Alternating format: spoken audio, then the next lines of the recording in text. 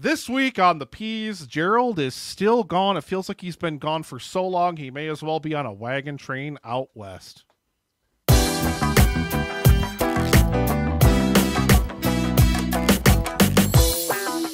Hello, everybody, and welcome back to another episode of Two Peas on a podcast covering the latest and sometimes greatest movies out there in the universe. Dad's gone.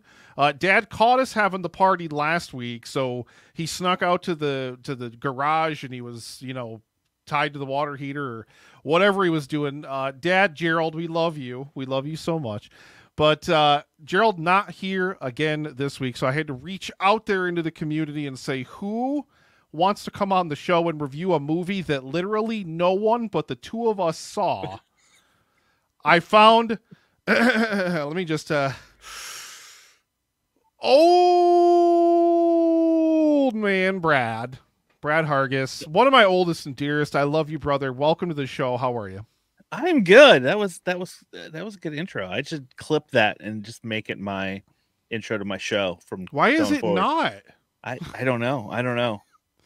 I know I've already I know I've already done that before. That should already that should be it should just be me, but then like loop it over itself so it's like oh and then So like a there's, like, second later it like, just comes in with like oh oh oh Yeah, Nobody's- we decided to talk a, a movie that I think maybe five people in the world have seen. I don't know. I- So I really the, don't the real key is if we can get them to tune into this podcast and tune in like all time high for demographics for listenership. Like if we can pull five listeners, Brad, Oh, ooh, you'd be doing pretty be- good. You, it's- it's Gerald would be amazing. very jealous. He'd be like, "How'd you do it?" I was like, "Kevin Costner. Kevin Costner will always do it." The power of the cause. We are covering today, ladies and gentlemen, of course, Horizon, an American Saga, Chapter One. Kevin Costner rides a horse is what I titled the room here in Streamyard, which is is part of it. We'll get into it. I think there's Yes. a lot to probably discuss about this movie. I since this was your pick too. Okay, so before we even we're not before we get into early score reveals or or one big question, any of that stuff. I gotta why this movie? That's my one big question to you. We're not even there yet, but why this movie? Well, this was one that I actually did want to see in the theater. I didn't. It kind of came and went so fast. I didn't get a chance to. And I've always had this soft spot for a good western. So I was like, you know what? It's on. It's on Max now. Let's let's do this one. Let's watch it. I've been wanting to see it. Yeah, I it was think between that to- and Borderlands. So Oh god, man. Woo! I mean, it just talking to Stu from Stu World Order. I, you know, Stu, you love Stu. Mhm. It just uh talking to him about the top five movies before we were born, talking about westerns back then. So I kind of thought about that a little bit when you mentioned this, and thinking like, yeah, let's see. I, I uh, this is a genre that I think Costner is known to have a lot of oh yeah, fondness for and everything like that. And he shot a lot of stuff, especially back in like the 80s and 90s, that was all modern day Western type stuff. So it's interesting to see him kind of go back to this wheelhouse after so long.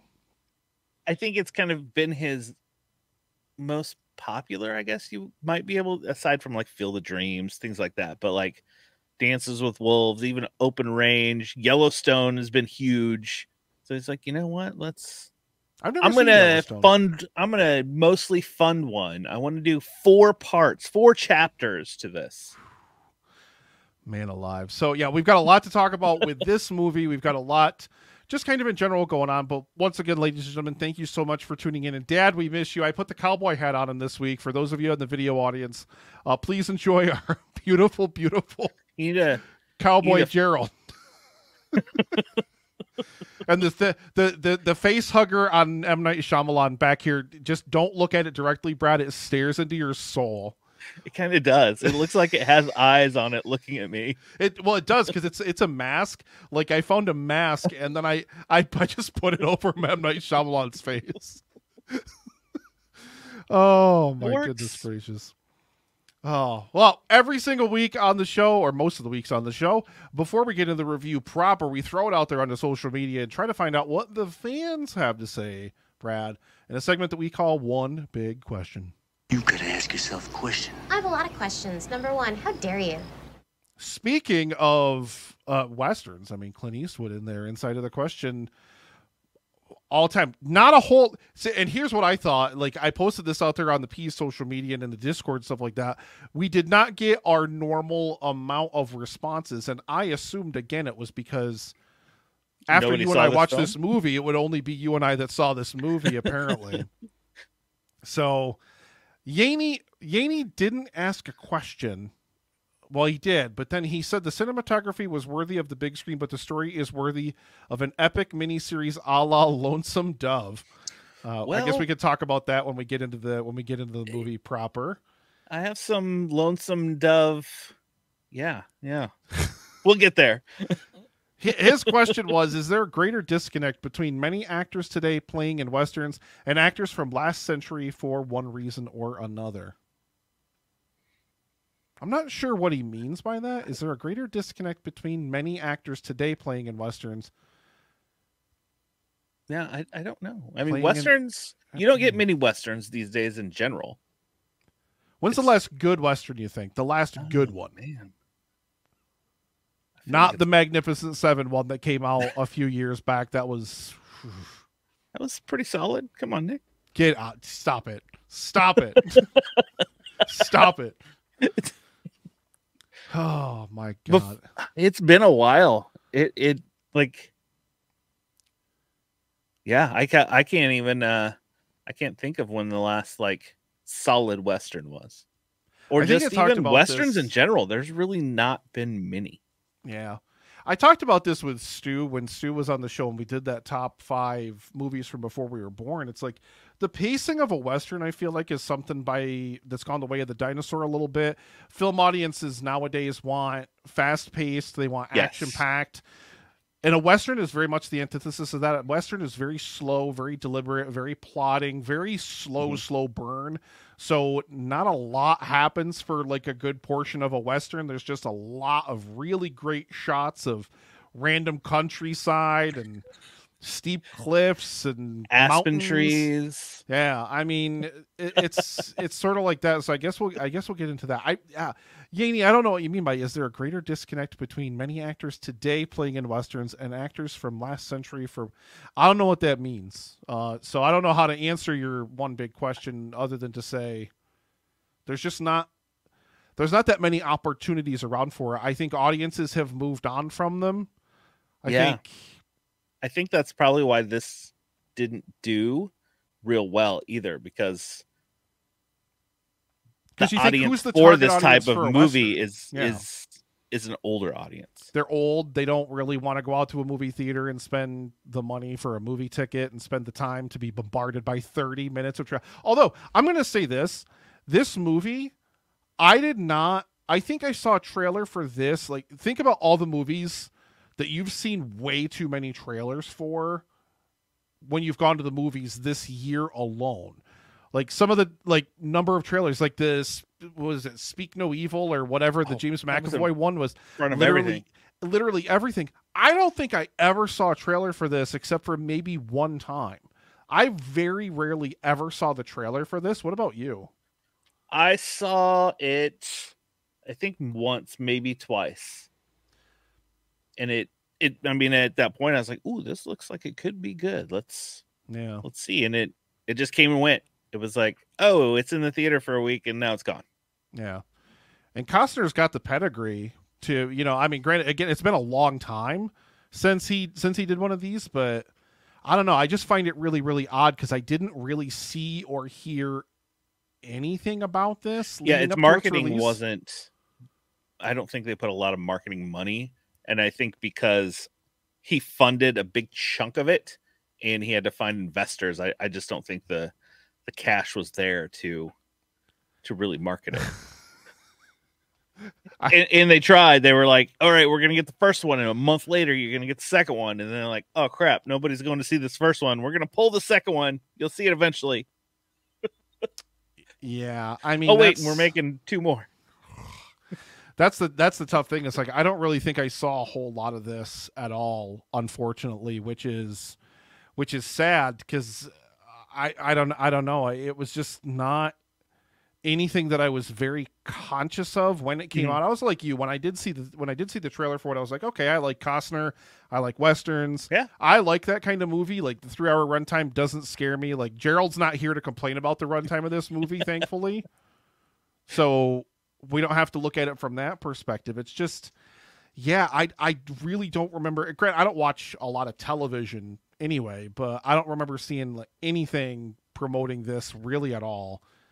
Which There wasn't much. I mean, if, that I even if remember. Costner didn't have the money to put trailers in theaters, like put him on a bus with his face on the side of it, like driving around the country, stopping in random towns to be like, "Hey, I'm in a western, go watch it." or or they weren't there weren't uh, many advertisements on Tubi for this. I, I will I'll tell you that Oh, is that what it is? That, that Yeah. what it was? No, they, they no needed to throw it in there a little more. Brad likes Tubi, guys. I'm surprised. it's 15 minutes into the recording, and that's the first time he said Tubi this whole time. I'm actually, I'm actually shocked. Holding it in, I'm trying to hold it in a little bit. Hold it down. Uh, let's hold it down before before the Native Americans attack you there, Brad. Every week, so we're gonna get into talking about the movie itself, get into our thoughts. But before we do, we like to do a little something where we let you know what we thought of the movie in advance in a little something called the early score reveal. Damn it, this always happens. I think I'm gonna score and then I never score. It's not fair. It's not fair, Brad. It's not fair. It's not fair that there are 18 chapters of this apparently planned. and who knows if we're ever going to get them. He, he's gonna keep trying to make them until he dies. Good lord. So, Old all right, man Brad. Costner is gonna be like, "I'm gonna finish this saga." All right. So, uh, we're going to talk about the film non spoiler first, but before we do, we're going to go ahead and reveal our scores out of 10. Brad, whenever you're ready, count us in and let's show the audience. All we you ready? Of Horizon and American Saga Part 2 Electric Boogaloo Chapter, Chapter 1. One. All right, in three, two, one. Ooh, okay, okay. A seven from Brad, a five from me. So that's Gerald. That's a twelve divided by two. That's a six for the P's, buddy. six for the know Okay, math, so math can be hard sometimes. You came out of this with a lot more, uh, a, well, a little bit more of a positive vibe than I did. Talk to me about what you liked about this movie, then. I Non spoilers. Don't you Non-spoilers. I mean, I like a good western, and this had all the elements that really just kind of drew me in. It had the landscapes. It had, I mean, there are a lot of story threads throughout this. That it, a whole lot of story threads throughout this. That at first I was like, wait a second, where are we again? Hold on. But as it honestly, as it kind of went on, and we'll kind of get into it a little more, I found myself just like just hooked in, just like I want to keep watching. And when we got to, you know, our finale of three hours, this three hour runtime just went by quickly for me. I did not feel three hours at all. And when it was over, I was like, oh, I want more. I want Yeah. more. I en- I thoroughly enjoyed this film.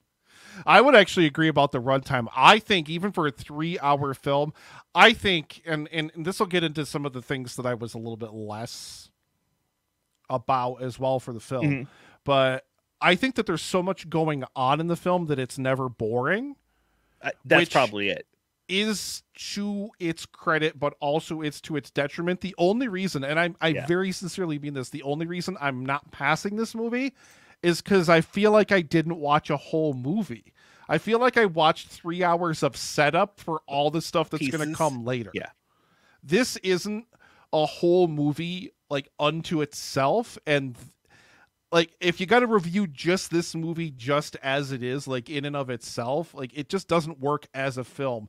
There are characters that disappear from this thing and you don't see them for two hours. And then you got to be like, wait, who's that? Who, what, huh? What? Like, Yeah. I mean, man, I mean, And and no story plot finishes. It's all like you s- it's all your characters because we know you were supposed to. It's supposed to continue. Yeah. So, all right, well, let's go ahead. We're going to take a break here, Brad, and Dan's going to come in with a little Patreon promo like he always does. And then when we come back, we're going to tear that spoiler wall down. We're going to get into the nitty gritty. We're going to hit that dusty trail, baby, and we're going to talk about everything about Horizon and American Saga. Chapter one, don't go away.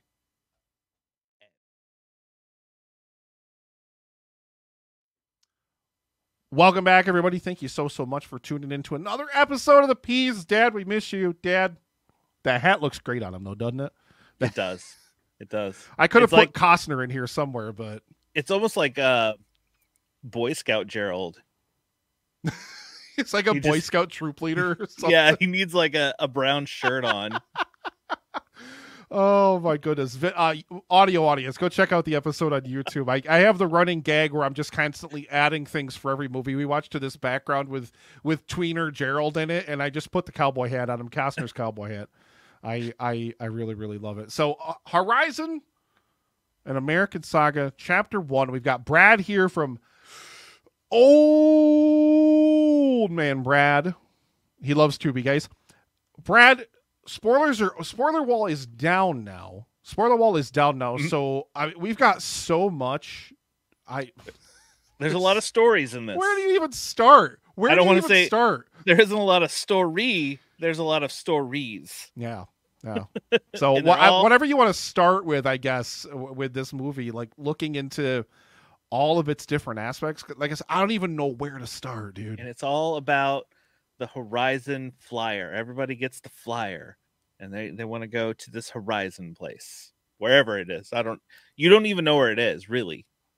I don't think it ever really sets up. they say in the very beginning, I think they said the San Pedro Valley at the very beginning because that's where they're doing the survey that starts the like the very beginning of the movie when there's like surveyors out there, but then they get killed by the Native Americans. Yeah, by so the San Pedro Valley.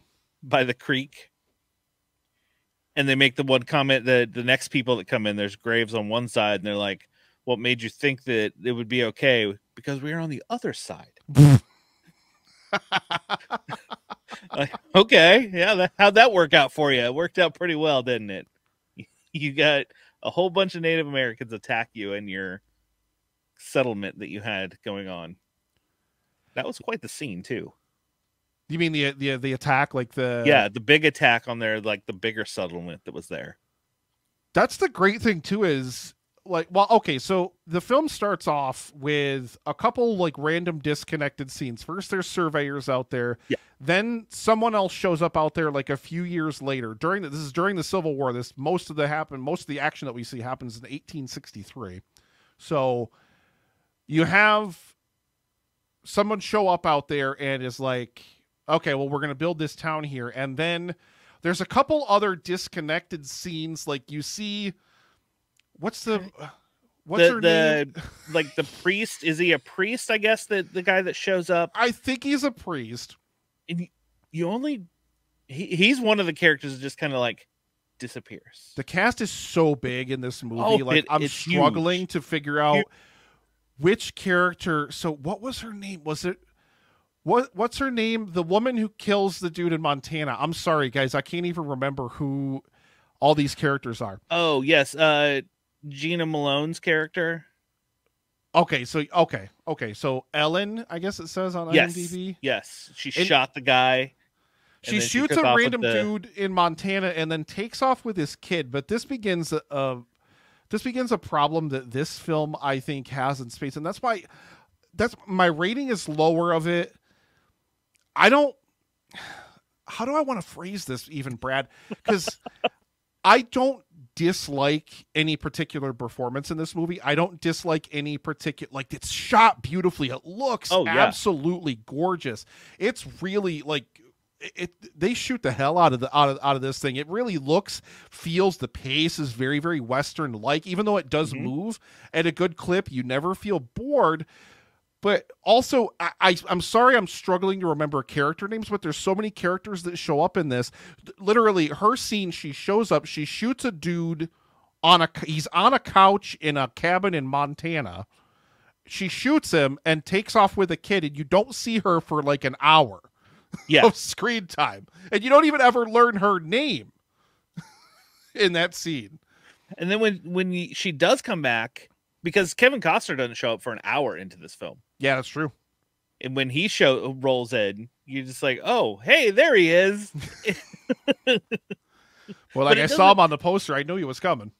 it doesn't. I know we've said it. It doesn't feel though that way. Like when he shows up, you're like, oh, okay. And I was like, oh, what a like a half hour in maybe, and I look and I'm like, oh, we're already an hour in. Okay. Yeah. and he's yeah it does jump around because we go montana we go wyoming where where else do we go because then there's the the uh the like the army fort kind of area is that the wyoming i think I that's think wyoming no, that's not the Wyoming because the Wyoming is where Wyoming's where Costner's character That's shows right. up, right? that's right because it's up in the mountains with all the aspens because the aspen trees are very brightly Yep, yellow Yep, yep. That's right. Yeah. They make sure I, I think they were when they colored this film they were like make these extra yellow because they really like stood out It look. I mean, it does look really, really beautiful, though. It's uh, I the army fort was I want to say like 25 miles from where Horizon was in the San Pedro Valley. So well it wasn't too far from where the indians attacked because that's where right. some of those people Well, that's like Horizon. That's that's what that's meant to be, right? Is Horizon, right? no that's just the settlement down by the river I thought that was Horizon. i don't think that was i think uh, i don't horizon's where we get to when at the end when giovanni Ribisi, blah, blah, blah, blah, giovanni Ribisi shows up and you're like oh hey throw him in all of a sudden but i think that's horizon it's like a bigger almost city-esque type of place You know, this this movie ends not to fast forward all the way to the ending, but it ends out of nowhere with like a five minute montage of a bunch of scenes, presumably Yes. from part two, because they haven't shot the other two yet. So there's just a whole bunch of disconnected scenes where you're just like it feels like you're watching part two and fast forward. this this is where Yaney's comment of like lonesome dove I thought of that when this is ending. It's like, okay, this is with the re- like clips from the rest of the mini series. We're gonna throw in more characters that you're gonna see soon. And yeah, it was like five minutes. I'm like, The sad thing is, is, though, What? is the the film doesn't lead into it at all. Like it literally No. just goes No. from it goes from the scene. I mean, we've got so much to talk about, and I know I apologize. I know this is all over the place.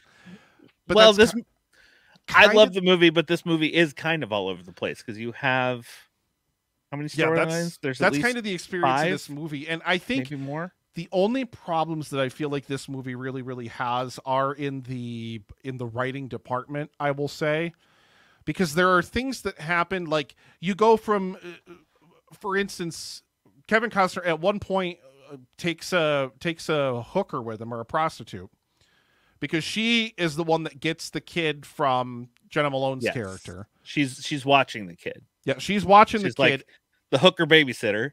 and and then her brothers or the the the dude that she shot in Montana his brothers show up to exact their revenge and get the kid back and you know take her out. And so they lure him up which was like the funniest like weirdest scene. Like they go up eh, because he's it, it's her new One- husband. Like she's married to a new guy. And they're one so of the brothers is like a the hot head that just like yeah. talks and yaps all the time and he's he's walking with Costner just yapping away. And the whole scene I'm like I just want Costner to pull his gun shoot this guy right now. Just shoot him. Just shoot him.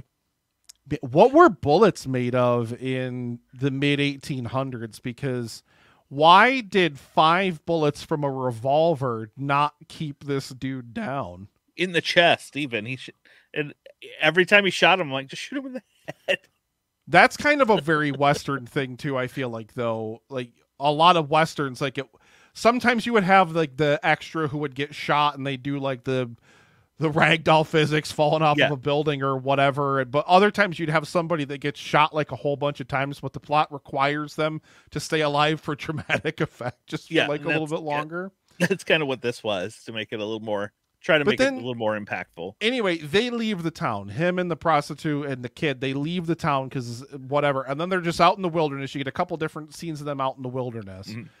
And then they're up in the wilderness. They're up above a railroad camp, I guess it is. And Yeah. they're up there and Chinese immigrants in this Yeah. kind of railroad area. Yeah, so she's complaining that she has to sleep outside because she's accustomed to finer things. And so he's like, "Okay, well the next day I'm going to go into town and see whatever cuz they watch the brothers show up, look for them and then leave. Mhm. And then the next time we see them, they're established already in the railroad camp. So there's parts of this movie where it's like things are really drawn out and slowly paced, and there's so many characters to juggle. But then there's wholesale gaps in time straight up missing from this film. Like when they go down into town, apparently they go down to town. Oh, you, you want to work for the railroad or you want to come with us and get work? That's perfectly fine. Come on. Like all that's just completely in the background. You don't see any of it. yeah, because it cuts to she's sleeping with some other guy, and Kevin Costner's working now with the the railroad people. It's fi- It's literally five minutes of screen time later. I'm Yeah. like, what happened? Where did this come from? My goodness. and, and even at- even the other characters, because in the um military camp, you got Sam Worthington and Michael Rooker. Who Michael Rooker? How many accents did he have throughout the thing? there's he a was lot of Irish really for a bit. He was not Irish for a bit. There's a lot of like- really recognizable people, especially in the in the in the military scenes, because you've got uh, Danny Huston was in there. yes. You've got, like you said, Sam Worthington was in there. You've got Michael Rooker and his 17 different accents in there. It, it- it's not, not an exaggeration. I'm pretty sure every time that character appeared on screen, it was all supposed to be, I think, some version of Irish, but it never. I don't know. It was very heavy at some points, and then it it just kind of faded away in others. It just sounded like Michael Rooker and others. Yeah, yeah. I, And- well, and then you had the other travelers where you had Owen Wilson, you had Will Patton. which They came long- in really late. Was that like two hours into this movie? Yeah, and they're like, "Oh, hey, we're gonna bring you even more characters that are traveling across the country in this big wagon caravan." Here's what I, I want to time out. A time, Okay. ti- we Time got a out. time out on this. We thing, got 'cause a we- timeout, we are so All over the place. with this. just like the movie. let me ask you this, and then I kind of want to dive into each of these sections as Okay. with this thought. Okay, think about this movie, but compartmentalize it, give it a Tarantino esque anthology or chaptered kind of format where Okay. one chapter, part one, the massacre at Horizon. And that's all that story, like the whole story. And then we go to part two, the girl who murdered the person from Montana and stole the baby. All that different stuff. Like, imagine how much would do you think anyway it would have benefited this movie now granted it wouldn't be able to be four parts or maybe it what i don't know i whatever but how much better would this movie have been if it would have just stayed with these characters like stayed with one group all the way through whatever setup of whatever story we were going to get from them in this Mhm. movie before moving on to the next was it more confusing than it needed to be by jumping around so much to so many different characters or do you think that didn't hinder it as much it did at first because I was like, I think when we went from that massacre to our next scene, I think it was in Wyoming. There was a, a girl that looked very similar to Sienna Miller, who just lost her husband, her son, and everything else. And then we jumped to this new town, and I'm like, is that wait, is that supposed to be her, or is that like the daughter, the the the hooker girl? I didn't know because of the way it cut if it was like many years later and this is that girl now. Oh i see what you're saying yeah okay So I, I it, it took me a minute to go, oh wait, wait, wait, we're on a new story with new characters now. okay. And then once I kind of figured that out, I just kind of kind of went with it. And then, you know, of course we cut back to them back and forth, back and forth, and then we throw more people and here's this what movie probably chapter one and chapter two probably should have just been released as one big piece just because of the I way wonder if it, chapter two is also three hours long. it is. Jesus. oh my god. I can't e- like I here's I want I want to play a game real quick, Brad. I'll play you don't have like IMDb or anything like that up for this movie, right? Uh, I, I do, but they're in tabs. I won't. Okay, okay. Don't look at don't look at anything. I want you to name five characters, not the actor. I want you to name five characters' names in this movie. Go. Uh, Wait, no, two. No, We'll just do two. I can't. I don't remember any of their names.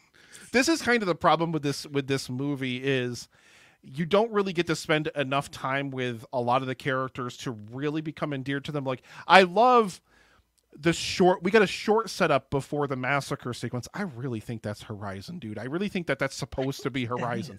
I think it is. Well, i'm gonna we're gonna have to go be, read never mind. But anyway you get like a short setup where you kind of very briefly meet like the brother. Like i thought they spent so much time focusing on the brother like the young brother like the, the young boy that i thought for sure that he was going to be a bigger part of this movie but he ends up dying in the in the shootout with his dad right Yeah, when, when he was like, "I'm going to stay here with dad," and mom's like, "No." Uh, uh, uh," Yeah, he was kind of the main like he was kind of the focal character of the whole Well, setup piece you had a couple younger kids because then they cut to the the Native Americans, and there was a, a younger boy, and then mm-hmm. kind of almost like the twenty something. His group is the one that did this, and you have Yeah. the elders kind of scolding him, and he's just like hothead of like, no, kind of, I'm going to do what I want. But then you had another younger kid talking to. There were a lot of children kind of pop in because you even had the one kid who wanted those two guns, and then there yeah, was the he was he survived the shoot. massacre too. He he escapes the massacre because he's the one that goes to the army base and tells them about the massacre afterward, and then he ends up going with some people who want to hunt Native Americans. With Jeff Fahey and With his Jeff, that's why it's it's the 20th anniversary of the premiere of Lost today. So because because Frank Lapidus is in this movie, it's an instant 20 out of 10. as soon as he showed up, I was like, I'm glued. Like I'm gl- I'm lightning glued to the screen. I love him so much. He's so good. I just love him. I adore him with every fiber of my being. Oh my god! But yeah, you have so you have the one kid Russell. I think is that kid's name. I think I was just scrolling around in the cast list and saw that. So he's the one that escapes to the army base and tells them about the massacre, and then he yeah he ends up taken up with some random Native American hunters, and then you don't see. I didn't even remember who that kid was by the time like No. they have him go off, and then you don't see him again for ninety minutes. Well, I'm trying to think how many stories were there because you had you began with the surveyors, so that was just a quick story. It's over, but then you had another s- settlement come in that gets massacred, and then we go to I think it all starts with that. That would be Sienna Miller's character. Like I think Yeah. that's all her story because that all she's think the main character through line through all that, right? Her and the daughter. yeah, and I think if they would have kept with that, because then you go they go to the military camp, they're invested in that, and her and Sam Worthington eventually kind of have a thing that kind of gets not fully complete at the end of the movie. But I do think chapters would have helped it instead of jumping. Like if you would have taken that story, the massacre, they're at the the the the camp and kind of how they're integrated into it because you have the one older woman. I don't even know who she was. Uh, was it was it Michael Rooker's wife when she was Oh, I don't have any the idea who out that of the woman room, was. His, and I she's think it like was his mother. the people in the I think it was supposed to be his mother. okay, and she's hitting those guys with the with the umbrella And they're like stealing her furniture. I'm like, like, what is happening? Like, and this is literally two plus hours into this movie, and they're still introducing new characters. I'm like, please, for the love of God, if you look at this movie as just a three hour act one, then I think it probably works better in that sense, right? Well, and how many new characters got introduced to us in the five minute montage trailer? Oh, I didn't even pay it. I like I saw Giovanni Ribisi show up, and I was like, "Wait, what?" There were so many other people in there too that it's like, oh, what? Who's that? Who's this? What's going on? Oh, I- now I want chapter two. Damn it! I and then think it's over. the, the thing that really I think disappoints me is well apparently there were so there apparently there were people on the wagon train I forgot about this too there are people on the wagon train who were also named Kittredge because that's Sienna Miller's character's surname so they're apparently related to her somehow Were those the two English? no that th- those were two completely different again two completely brand new characters that I guess were in the movie because they wanted you to see breasts I guess I don't really know why else those two characters were in the movie. I, I guess we'll see in part two because there was like, they, they introduce these two characters. They're in the wagon train. Luke Wilson goes and yells at the guy and is like, because he because the guy's like not helping or not doing anything when they're all like this is yeah, like he's he's like an artist. yeah they're, he's this is drawing pictures. this is Oregon Trail days when like you had to have everybody pitching in and everybody Yeah. work hard to to help. They they were going the horizon. They're on the Oh yeah, Will Horizon. Will Patton and his he's the- Kittredge. He's he's he's he's, Kittredge. related to to all them. But yeah, so then he yells at the English guy and is like, "No, no, no, you got to do this." And then there's a scene of like two rando dudes who are part of the wagon train who are creeping on the English dude's wife while she's outside bathing herself in drinking water. Well, it scene before that, one of those guys was like the main guy that like helped them from Helped him fix the axle of the fix wagon. Fix the right? axle, so Right, yeah. another person didn't get crushed, and and now they're like two creepers outside the camp. I was Yeah, and then Luke what?" Wilson goes to yell at him, and then they like stand up to him and are just like, "Oh, real? Like, like what? Like, are they going to keep harassing this Yeah. English, this random English?" Well, they're family? like, you're you're Luke Wilson. What really? What are you gonna do? I if hope Owen was O- here, I hope Owen shows up Yeah. in chapter two. if Owen was here, we'd be we'd be concerned maybe that this was going to happen. So yeah, we have we have like that whole massacre sequence. We have the whole aftermath of the massacre sequence where and this is this is the best part of the movie for me. I want to dial into this just a little bit. And this is what I was really hoping that this movie was going to do more of because it plays with both perspectives here. You get Yes. the massacre from the Native Americans who come in and they slaughter everybody in the settlement because you've got the young kind of hothead who doesn't want any white eyes is what they call Yeah. uh you know pe- like white people coming in to settle in their area.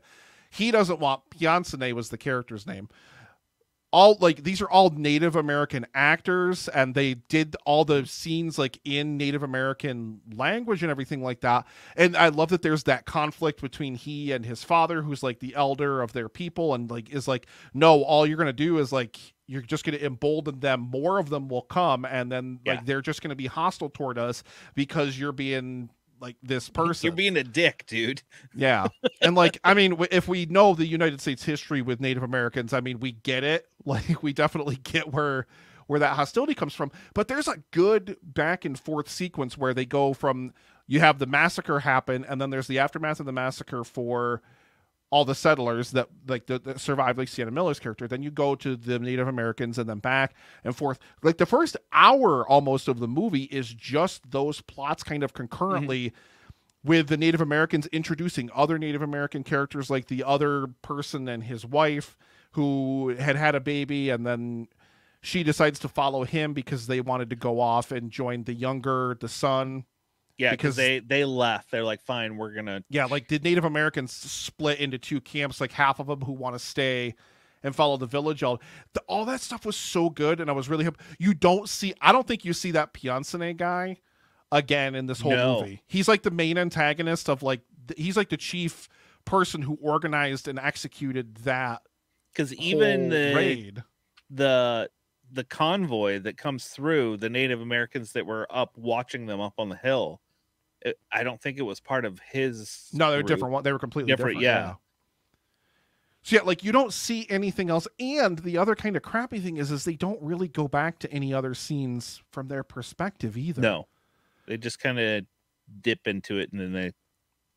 Oh, Yeah, we're like- gonna go back to whatever story was next. Yeah. So I liked that. I thought that that was the best part of this, and uh, this was the first hour pretty much i mean aside from the few disconnected scenes at the beginning of the movie the first hour of this movie is all focused on this massacre that happens and then the aftermath of it between both groups of people like the survivors of the american settlement end up at the army camp or end up with the people from the army and all the like kind of different but then this thing takes a straight nosedive off of the hill when Costner show like I really hate to say it this way, but it's when Costner shows up because he's the I don't know first it- new character.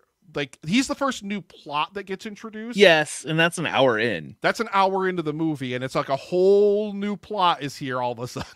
Now, I, I know you mentioned chapters. Do you think if there was like a cut of, you know, we we just spent an hour with this massacre, the Native Americans, this camp, and everything else, and then it would have just cut and been like, not even chapter two, but Part two, uh, the because I think he's supposed to something be else. a cattle trader or a cattle salesman or cattle. They they call him something in the movie, and I can't remember what specific title they gave him. It but was they like made it seem like he's he's a little more than what he leads on that he is especially when he go when he shoots the that kid that's going after um the baby Yeah. See, I that's what I think. I really think it would have done because if, if say you just after you cut you just stay with Costner and the prostitute and all the character if you're going to introduce a new plot fine. But then it starts going back to Sienna Miller's plot and like all Yeah. that kind of stuff. And I'm just like wait what what happened? And then when the wagon train came when Luke Wilson shows up it's like all bets are off at that point. It's like oh my god how many more plots are we going to throw into this thing? And then like I said you have Russell, the kid, he escapes and tells the military about the, the slaughter at the fir- in the first place, and then he shows up two hours into the movie at a trading post where he wants these guns, and then Frank Lapidus shows up, and, and th- I loved that scene though. Like that scene was like a really tense kind of standoff of like uh, what were they supposed to be playing? Were they supposed to just have like a a a showdown or like a shootout or I don't know what I don't know what I don't know what the point of that scene was necessarily. I mean, aside from to intimidate the the Native American who was there to try to trade, obviously, but i i think that was just to there was the intimidation and to show the i don't want to say racial tension but just this how some people are just very much like we'll kill them we don't care whereas you know the the one guy just walks up to that native american's like just don't move don't do anything and he'll quit just just stop yeah, it was a pretty tense scene. You're just like, you're like hoping the kid didn't shoot. The kid was like, and then you have the other, the Native American kid, just like trying to to come in. And you're like, ah, ah. I did like that scene though. I like that scene quite a bit, and I love Jeff Fahey. I loved that scene, and then I, I loved the whole I loved the whole follow up of that scene where they're gonna go to a Native American camp. Now I, I think it's the same. Is it meant to be the same group of people that we see the the same Pionsenay and all the people that followed him out of that camp? Is it meant to be? Because I don't think it is. Because you don't see any of those same characters. Think so? I think it's another group that they just attack. Costner, what? I think we're gonna have to go back and rewatch this and take better notes. I think what it is is I think we need part. I think we need part two to come out. Like I said, this is the whole the the, the biggest biggest problem I think with this movie. And as as much as like I said, I don't I I like all the performances well enough. I don't think that uh, most of the performances I don't think are like batting a thousand. I don't think there's anybody here that's like blow me away like incredible or anything. Well, Nobody was awful, in but I don't think anybody was really bad either. It No. shot really, really well. Like the is- costumes, the sets, all the locations and everything like that. It's all so beautifully. I will tell you done? whose whose backstory I want. I think I think his character's name is Bill. When No. we get to Kevin Costner and him, and they come out and yell at him, and he's sitting on the bench like asleep, and he's like, "What? what? Bill. Who's Bill? It's just some old dude that they yell at that he just like perks up on this. Is that in the is that in the end part? Is that in the five minutes? No, it's right in the middle, right when Kevin Costner first shows up. I eh, the way I wrote it in my notes, I because I laughed so hard just because the look on his face is like he was on set for that one day. He's like, I have one part. I got God, this if I one part. I gotta nail it. I gotta nail this. If I would have tried to take notes during this movie, it would have taken me like ten hours to watch it. Because every time you look up from taking notes, it'd be like, wait a minute, who's this completely new person that I've never seen before? I only took a few notes. Michael Rooker's accent, Bill on the bench. I don't think I don't think this is a bad movie, and I don't think obviously we haven't seen what comes next, right? And given how dismally this Yeah. performed, I think their plan was dump it on streaming, see if we can recoup some of the budget, Mm-hmm. and then we're gonna. We're, uh, they still they still have part two kind of can, but what they want to do, I think, is they want to kind of drum up more interest in part two before they put it back on a theatrical schedule. which honestly after watching this this whole thing should have just been done as a mini series because you should have just had all these little stories in short little pieces just to watch Imagine, yeah, imagine if you watched this, but the first episode, the first hour was just the massacre at Horizon, and all the follow up from that. Episode two is when you first meet Costner's character, Mhm. and then episode three is when Sienna Miller's character finally comes back, and the plot lines start to intermingle just a little bit more. Like either either way, like mini series wise, or like I said, if you take if you take a Tarantino kind of approach to this, give it give it chapters within or give it parts within. Oh man, I yeah because the only real title cards that pop up is to let you know that oh now you're in wyoming yeah. oh now you're over here but then when it cuts back and forth between them you you're just supposed to know Or you need to have a character that's a thread, that's a through line between some of the plots, Yeah. right? i think Like- that probably could have helped Yeah, like maybe somebody from the massacre goes back to Wyoming and then maybe they run into Kevin. See, I don't because I don't understand what. I, I, we probably won't find out till the beginning of part four how Kevin Costner's character is even somehow tied into the idea of, well, no, no, no, we do because at the end of this, the prostitute finally seduces Kevin Costner. She's trying to get in Costner's pants literally the whole movie, which She he wrote, does. he wrote and directed the movie, so okay. Boy, he, he played hard to get as long as he could, but damn it, He he, just couldn't say no to her breasts heaving out of that corset anymore. so fi- finally, he gives in to her, and then she leaves him a dear John letter. But I, I think that was funny because I remembered back when she when she leaves him that letter. I remembered back to when we first met him. He's dictating a letter to someone to send Yeah, a he telegram can't because he can't read. So I just thought it was so funny that she left him a letter he couldn't read, and then she dumps the kid off on a Chinese immigrant. Yes. I I think because these this Horizon flyers kept showing up, because she wrote the note on Horizon, that the note was and on those the back of Chinese immigrants flyer, yeah. looked at the back and were like, "Oh," and I think eventually it's there. All these characters are going to come together in this. all of them are going to end up in Horizon, like back in that one Yeah. place. And They'll Are all you- eventually get there. are you? Now I know I I know my answer, but I want I want to hear from you. Just like your excitement level for a part two plus in the because there's supposed to be a three and a four as well. Your Yes. excitement level for this, like like where are you at? honestly i'm i'm kind of excited to see part two because i did even though it does jump around and the way everything kind of weaves together it confused me a little at first but once i got oh okay this is what's going on it hooked me in. That's three hours flew by and i after that five minute montage i'm like i do want to see what all this is about. I, i'm kind of excited to see part two whenever we get it. We'll see after part two if that excitement is still there to be like, all right, fine, give me part three. Yeah, I mean, how much more can you possibly set stuff up before you have to start paying off some Something plots ye- here? Yes.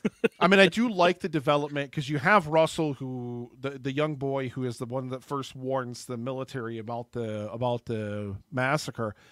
He wants those guns. They have that tense standoff at the at the thing, and then they go to that Native American camp, and the kids like really horrified by the fact that they're basically waiting until all the hunters, all the strong, all the men. Everybody strong leaves, mm. and then they go in and massacre all the old people and women Yeah. and children. Like that was uh, in terms of scenes like i think even if if if i was the middle of this movie there's so many characters getting introduced once the wagon train shows up and everything like that and you're just like well i'm so lost now i don't know what but then once they dial it back to that and they give you that kind of raw emotionality of how kind of horrifying that sequence is and how like how bad that sequence is it kind of mm-hmm. it kind of what's the best way to say this? Because that's where it ends too like that's the sequence it ends on before we go into the five minute montage of whatever. Like i i was really really excited at, at the end of this movie after that sequence i'm just like okay wow this is gonna be like business is about to pick up whenever whenever we finally do get part two. So i'm right there with you. I think i'm just as excited. My five is very tentative because once all this stuff is set up like once they get into Mhm. paying some of this stuff off and start building more of this tension i see my score for this movie probably increasing. And I'm surprised it didn't end because we started off uh, Angus Macfadyen, who played the like I guess he was like a priest or a father or something because he he was some religious person that came across the first surveyors massacre and kind of made the the graves and we don't see him. I'm surprised he didn't show up at the end as like this bookend of like oh i come across another one. Just just another day in the in the wild west you're right we literally don't see that character ever again do we No, I don't think we do. And I I like him as an actor. I think he's a great actor. Like there are so many actors that just pop up even even small like character actors like, "Oh, I know that guy from something." And and then they just they just come and go. man I Are didn't are there any characters do you think like do you think we'll see the hooker character again?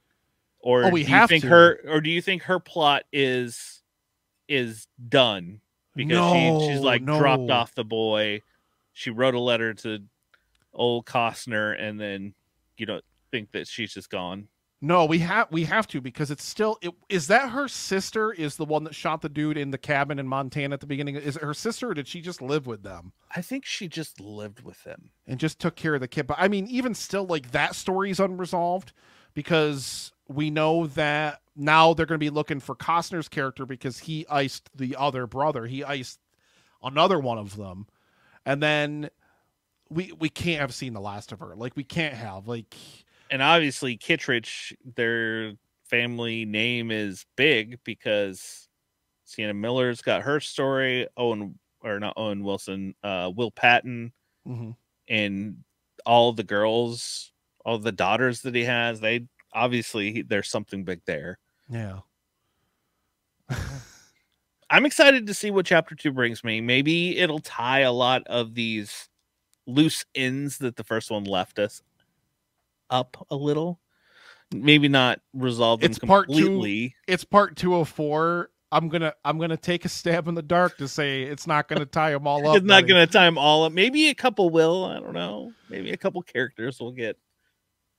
This has been the most i'm trying to think back in my entire history of doing podcast film reviews. I can't think of a film review that's been more disjointed i'll say than than this one has but that's the nature of this film. If you've seen this film if you're one of the four people and first of all thank you for tuning in to probably the only podcast that covered this too. But if you're one of if you're one of the people that did see this movie then you know what we're talking about because it's just there's so much going on in this movie but let me ask you this. I want to i'm kind of curious about this too. Whose character are you most interested to see kind of their further Hmm. exploits? Like where do they go from here? What more do we get to see from those characters you know? Kevin Costner, obviously, I, I liked his character, but you know he he he was a co-writer and director. Of course, he's going to kind of make him more of the standout. I wonder if he's gonna Um, show back up Yeah, I I don't know. Maybe, maybe. Uh, who else? i don't know i gotta Sam say Worth- Sam Worthington, Sienna Miller. I mean, their story. You kind of see where it's probably going, since they they they finally kind of came together at, at the end. yeah That thought that a- to see kind of what more happens with, you know, Owen Wilson and all that crew.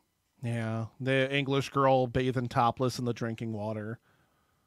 Just even if even Yeah. if for no other reason than to give Wayne Aruzu something to watch when they watch this movie. in the Native Americans, you know, I want to I want to go back to the the hot, hothead kid and his crew that ran off, and you know, are they going to come back around? Is there going to be some big something with them? And I'm sure I'm I'm looking through the cast list of chapter two to see what Oh my goodness! what I some new even- one. Tell me, for the love of God, tell me there aren't a whole slew of new characters in there. It's a pretty long list of uh, people in this film. I mean, you know for a fact there's going to be a ton of new characters because even in that five minute montage, which I again I can't express this enough, it literally just comes out of nowhere. Like all of a sudden, all these disconnected scenes start playing without Yeah. sound effects, with just this the score playing. And it took me probably till about two minutes in to be like, "Oh, this is a montage of what's coming in the next." Well, and it then at first uh, doesn't stop at all; it just goes straight into it. I was like, is this a montage of what's coming, or they're trying to show some advancements for some of these characters so we can pick up even further down the road and when chapter two comes. I'd have taken a five minute montage just reminding me of all the stuff that happened in this movie at the end. It should have been remember this character, remember this character. Oh yeah, Which I can't believe this cost me. This came out in theaters uh, when? August? Was August. Uh, Beginning of August? Maybe end of July? maybe July. Yeah. I, I paid six dollars American for this, Brad. I paid six dollars for it to rent it. I watched it on Max. Well, yeah, because you have because you had to, yeah. So you paid with that with with your max subscription. I rented Yeah. it from Prime, and it was only six dollars. Like it wasn't even a full price rental, and it came out like two months ago. I know. Are we ever going to see part three and part five? That's what I want to know from you. Are we ever going to see part part two? We know is done. Eventually, they'll do something with it. Yeah, part two is done. It has been shown. It, I think it just screened like two weeks ago. They screened it Uh, at Cannes, I think. Yeah, Yeah.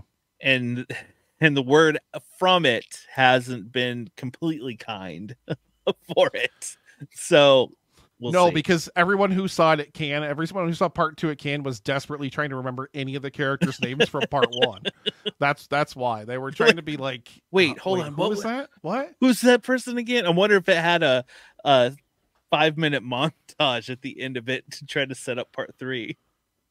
But it's all just pictures of storyboards because they haven't Yeah. shot anything yet, or it's just Kevin Costner sitting in front of a flipping through script pages, like sitting in front of a fireplace in a cowboy hat. Or something. I don't know. I, I don't know. I know. I think they're getting ready to start chapter three.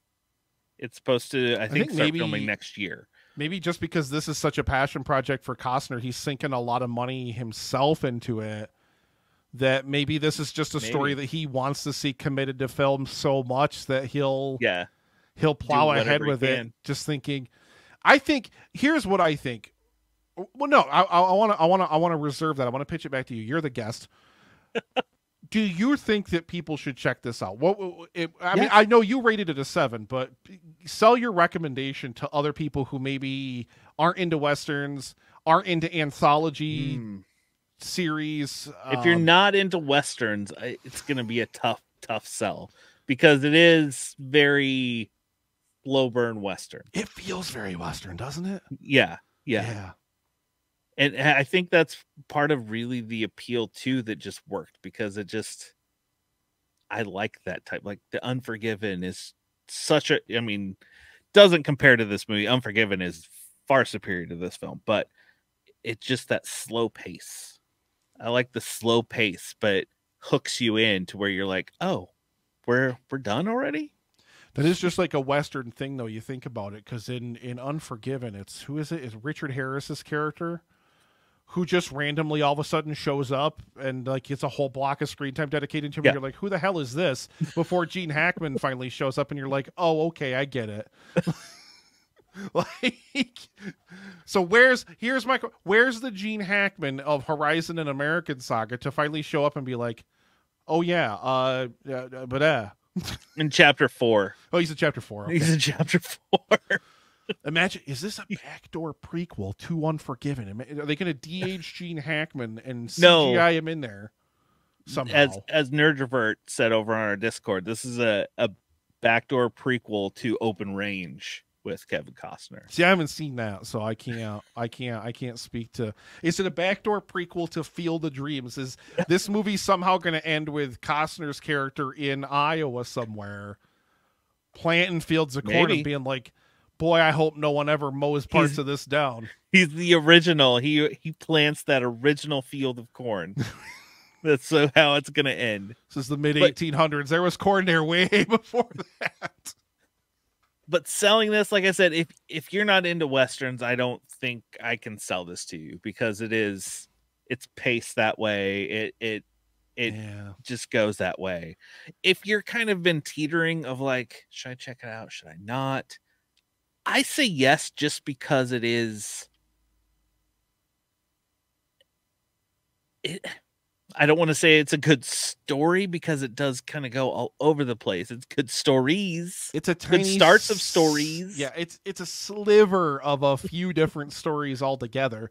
You Yeah. don't get a full, complete character arc or com- complete closure on any of the plots No. that this film introduces. So I think if you wait until chapter two to where you can see both, hopefully, it will kind of give you a little more of the arc.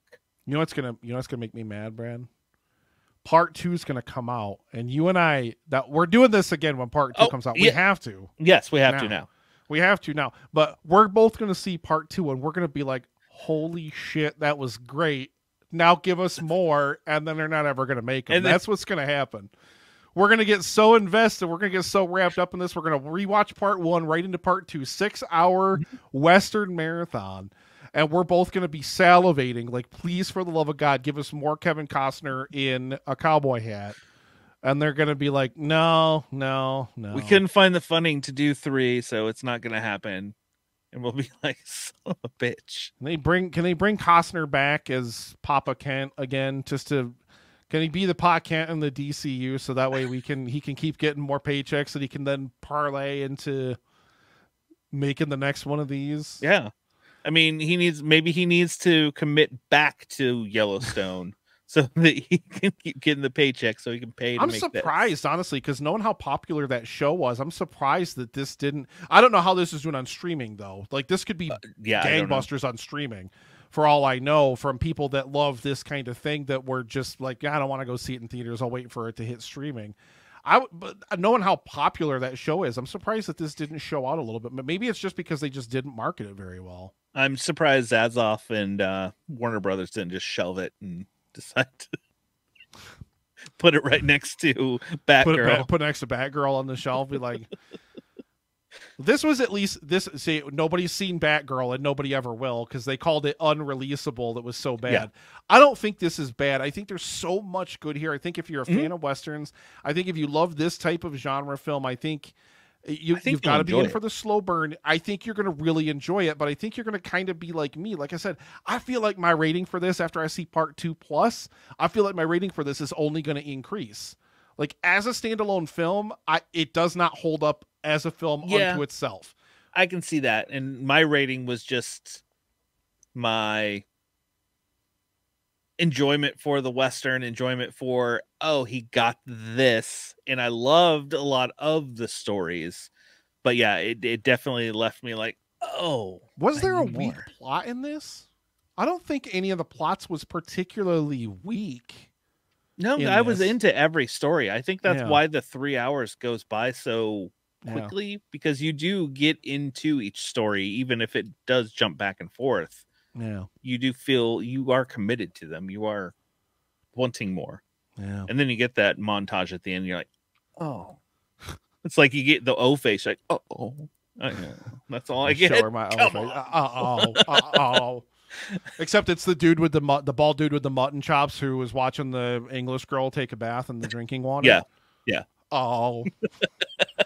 oh, ladies and gentlemen. So yeah, that's our recommendation from the peas. Check it out. I mean, it, I think this is definitely worth This checking out. episode is just like the movie. It's it weaves all over the place. Yeah, And we got to the to the five minute montage here in the end. Do you want to bring in another character just real quick before we wrap We- up? Just one more character to, to. introduce. We might need before- to. Good lord! All of a sudden, there's Gerald Morris's character right over there. He is.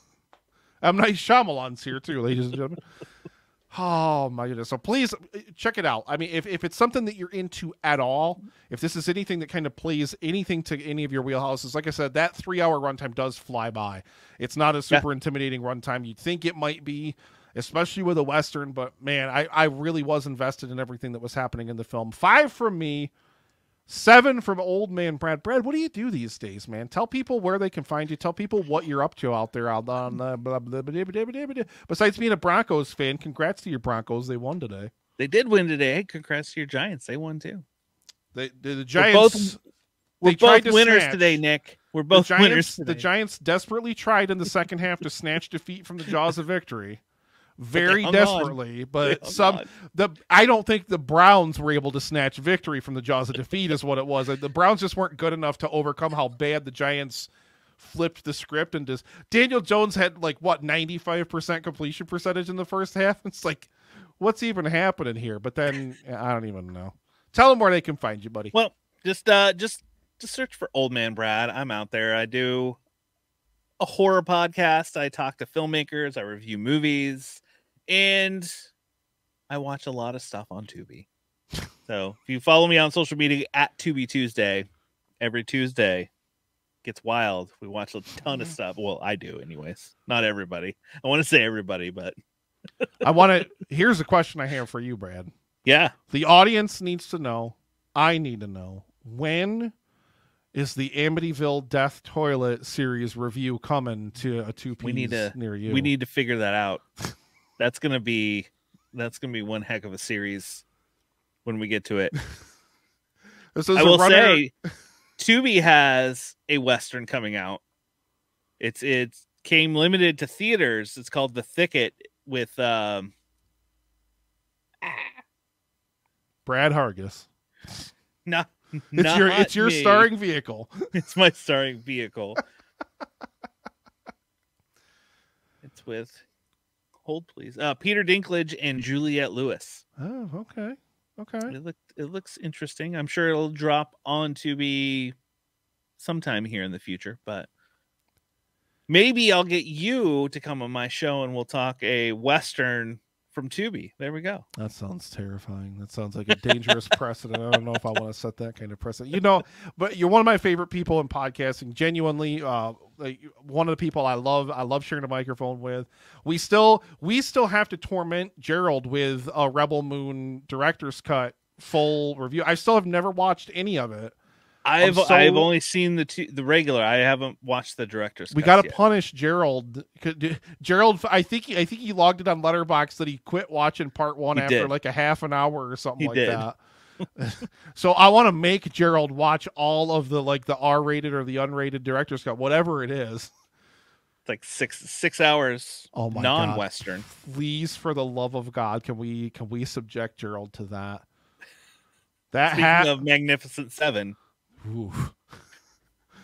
Gerald, speaking of speaking of dad, dad will be back next week. If you're missing the big G, we all miss the big G. We love you, Dad. It was so great to have him back last week, even though he had to basically duct tape the kids like real quick for an hour to make sure they didn't run around or cause any chaos. But it was super great to have him back, and he will be back next week finally. as we stretch on into the fall season. And I wanted to save Beetlejuice Beetlejuice for him because I know he's a really, really big fan of the original. He was really, really looking forward to seeing it. I have seen parts of the original once, maybe, probably in a gym somewhere. Never actually really paid much attention to any of that kind of. You'd think with how much I love Batman '89 too, I would have. This would have been a shoe in for me to check eh, out. Especially, but, you know, co-host you had on a previous show. He's kind of a big fan of one of those actors. Yeah, you you think you think it would have been something that I would have checked out at some point, but just go ahead and uh, oh. just uh, cut in a sound clip of Yaney saying Nick hasn't ever seen any movies. Just uh, just... I was hoping you guys would do the 2024 The Crow on his return. I'm bummed. I mean, it, it, it, it well, that's probably already streaming too. it is. oh my goodness gracious! Yes, the big G, ladies and gentlemen, Gerald will return next week for some Beetlejuice, Beetlejuice action, and then I believe week after that, or maybe two weeks after that, we've got Joker Two Electric Boogaloo which I've not seen great reviews for. So I'm in. I really hated the first Joker, so it was fine. It was Phoenix's performance was good, but yeah. listen, I don't need a film to just tell me how shitty everything is. Like exactly. You know, like I mean, it's it's Todd Phillips being like, "Oh boy, doesn't it? Isn't everything so shitty, guys?" Yeah, like, I yeah. can turn on the news and like yeah todd phillips like try to do something positive in the world instead of trying to make the joker uh like an anti-hero like, like the joker of all people like try to i'm come on uh, yeah none of that none of that vibed with me really as much as i love gaga i'm not looking forward to joker part two so i guess we'll see what happens with that maybe the musical aspect of it will be something that'll kind of hook that's, me in that's but... the part i'm i'm curious about yeah. is the musical aspect of it. I don't know.